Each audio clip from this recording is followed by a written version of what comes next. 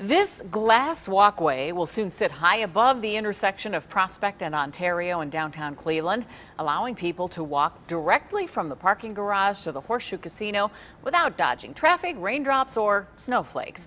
Crews will raise the glass walkway into place this weekend, which means some road closures. Channel 5's Kristen Byrne is live on 5, helping us prepare in case you plan on heading into the city.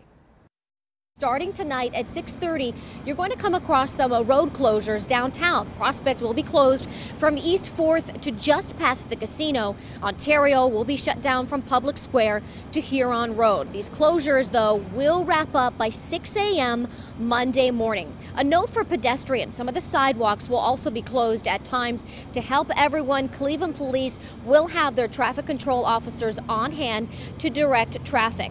When it comes to safety, uh, that's what the casino is big on. They say having this skywalk in place uh, downtown will really improve safety in the area. Uh, they say it's going to cut back on pedestrian traffic. On your side in downtown Cleveland, Kristen Byrne, News Channel 5.